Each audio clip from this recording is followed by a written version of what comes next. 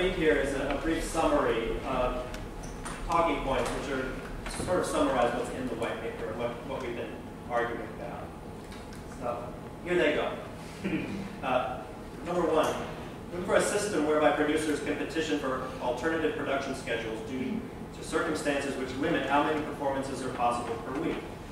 For example, weekend park performances,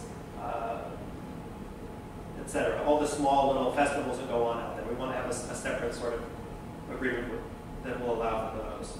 Number two, the opportunity for the extension of a performance run, very important, by instituting an escalating per performance fee scale for actors, similar to what's in place in Los Angeles' AEA 99 seat waiver code.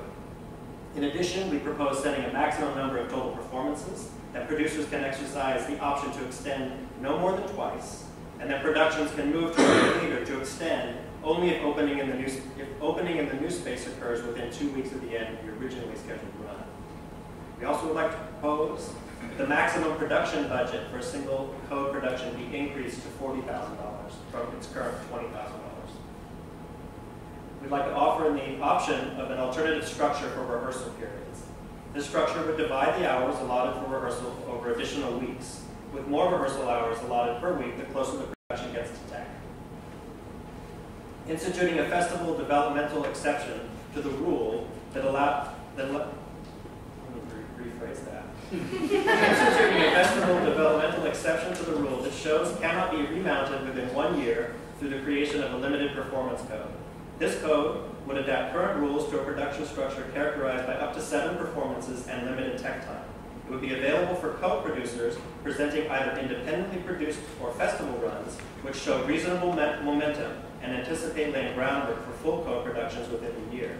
Perhaps as corollary to this, we recommend a structure in which companies could engage in developmental rehearsal sessions, either with or without an audience component, prior to the start of the official rehearsal period. Two exceptions to the video prohibition. Promotional excerpts for online distribution and distribution to participating artists for the purposes of pursuing employment. Under no circumstances would a producer or collaborating artist profit financially from either of these exceptions.